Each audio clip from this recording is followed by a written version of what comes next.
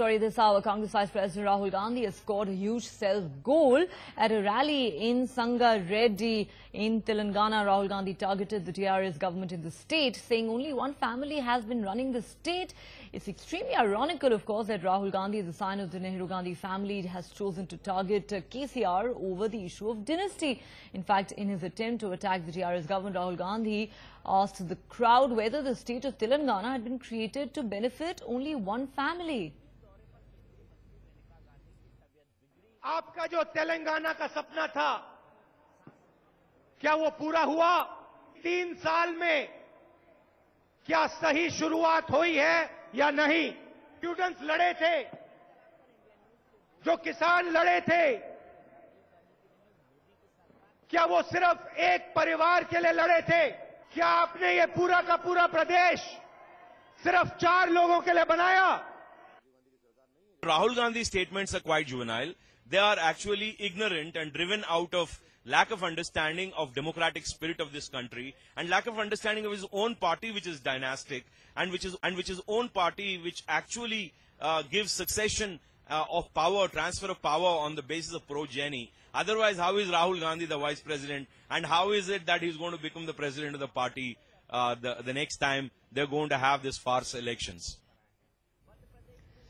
All right, my colleague Vijay Lakshmi now joins us with more on that story. Uh, Vijay Lakshmi, of course, there has been criticism of uh, KCR and his family, but coming from Rahul Gandhi, many are calling, calling it extremely ironical and a self-goal uh, scored by the Congress Vice President.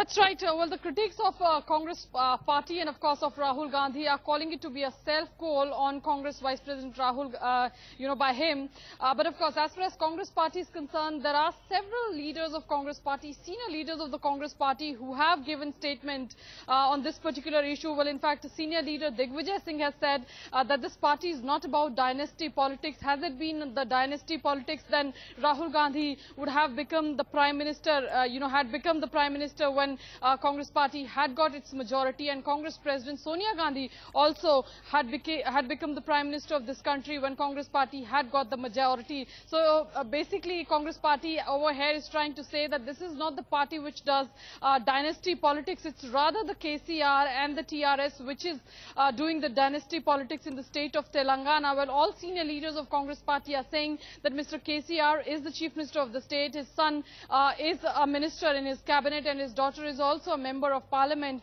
So it's basically the Tela, uh, TRS, uh, the uh, you know party, which is you know promoting dynas, dynasm, uh, dynasty politics. But it's you know it's wrong to say that Congress party promotes dynasty politics. So well, that's how Congress party is trying to defend the vice president's remarks that he has made yesterday in the state of Telangana. But of course, many in this country are finding those remarks to be uh, you know ironical enough because Rahul Gandhi, we understand that he's become the vice president of the party uh, because of, uh, you know, because only he belongs to the Gandhi family. So, well, he making those sort of comments and criticizing or attacking a political party, a regional uh, political party, because of their dynasty politics or alleging that they are indulging themselves into dynasty politics, has of course given opportunity to his political opponents to attack him for the same.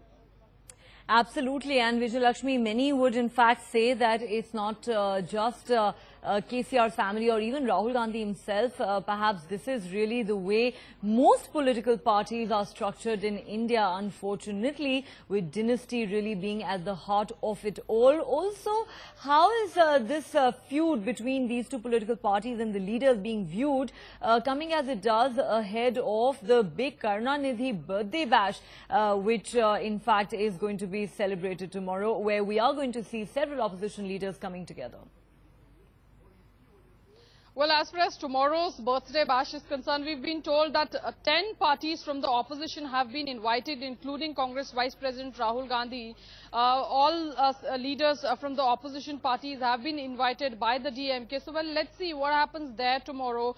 Uh, of course, it's an attempt by opposition to again to put up a united, uh, uh, you know, face against a Modi government. We will be seeing all these senior leaders from various political parties from the opposition attending that particular uh, meeting. But of course, as far as, you know, the word of war that has begun between Congress Vice President uh, Rahul Gandhi and the KCR, uh, you know, and the TRS there, the, you know, war of words between these two political parties, Congress and uh, TRS, is uh, something which is not going to end, uh, you know, in any near future. We are seeing, uh, we, we might be seeing this to be escalated another level in coming few days by both the political parties.